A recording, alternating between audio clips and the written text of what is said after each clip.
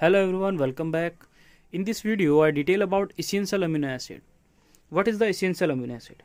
Essential amino acid are those amino acid that will be synthesized in our that will be not synthesized in our body. जो हमारी body के अंदर synthesise नहीं होते उनको हम बोलते हैं इसेंशियल अमीनो एसिड यानी वो इसेंशियल है हमारी बॉडी के लिए इसलिए आप क्या करोगे बाहर से बाहर से उनको डाइट के साथ इनटेक करोगे सप्लीमेंटेड विद डाइट ओके तो इसेंशियल अमीनो एसिड, वो अमीनो एसिड है जिनको आप डाइट के साथ इंटेक करते हो। पहली चीज़, अगर इनमें से किसी भी अमीनो एसिड की इसेंशियल अमीनो एसिड एसिड की डिफिशियंसी हो जाए तो प्रोटीन की डिफिशियंसी हो जाएगी। क्यों? क्योंकि जितने भी प्रोटीन होते हैं, वो छोटे छोटे मतलब बहुत सारे अमीनो एसिडों को मिलाने के बाद, बहुत सारे जब अमीनो एसिड एक साथ में एक चैन बनाते हैं, पेप्टाइड चैन के साथ बनाते हैं तब जाके आपके पास एक प्रोटीन का फॉर्मेशन होता है। That is essential amino acid तो वो कौन कौन से इसेंशियल अमीनो एसिड होते हैं, हम उनके बारे में डिटेल करेंगे। पहला, सबसे पहली चीज़ क्या है? सबसे पहले तो आपको इनकी ट्रिक याद रखनी है। दैट इज़ क्या?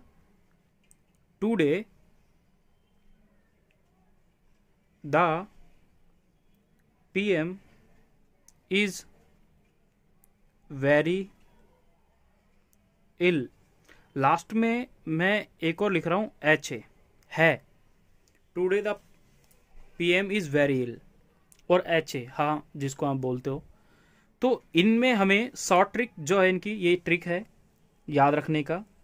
टूडे द पीएम इज़ कुछ नहीं है इल एच एंड ए ये टोटल आपके पास अमीनो एसिड जो होते हैं ओके ये टोटल जो आपके पास टेन अमीनो एसिड हैं, ये टेन के टेन आपको याद रखने हैं कि वो टेन अमीनो एसिड कौन से हैं और वो टेन अमीनो एसिड का हम एक एक के बारे में ज़िक्र करते हैं कि यहाँ पे टी क्या है, ओके? तो टी इज़ स्टैंड फॉर यहाँ पे threonine first amino acid second amino acid की बात करते हैं that is your tryptophan third amino acid की अगर आप बात करते हो तो वो अमीनो एसिड है आपके पास फिनाइल यानी P is stand for phenylalanine.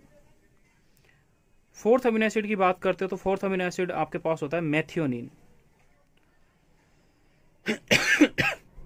Fifth amino acid की बात करेंगे तो वो हो जाएगा वैलिन।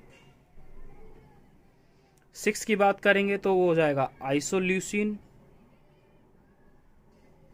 सेवंथ की बात करेंगे तो सेवंथ अमीनो एसिड आपके पास क्या हो जाएगा?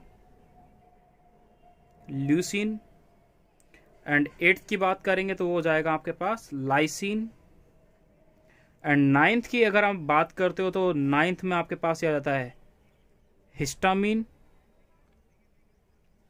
एंड टेंथ की बात करते हो तो आ जाता है आपके पास आरजी नीन यानी वो amino acid that is T T P M very ill H A ये आपके पास इसका एक निमोनिक्स है जिससे आप इसको याद रख सकते हो कि today the PM is very ill हाँ ओके तो इसमें क्या है कि threonine tryptophan phenylalanine methionine valine isoleucine leucine lysine histamine and arginine देख रहे हैं कि मैंने ये जो नाइन टेंथ हैं इनको मैं अलग से लिखा है।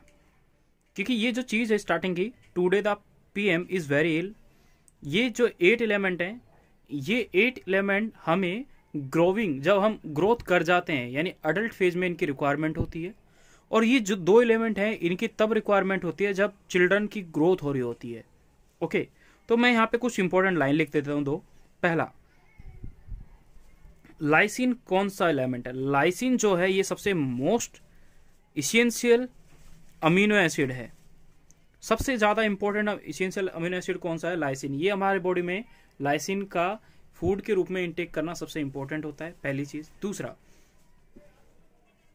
दूसरा, मैंने ये बाद में लिखे हैं। मैंने इनको अलग कर दिया एच ए करके लिखा लास्ट में।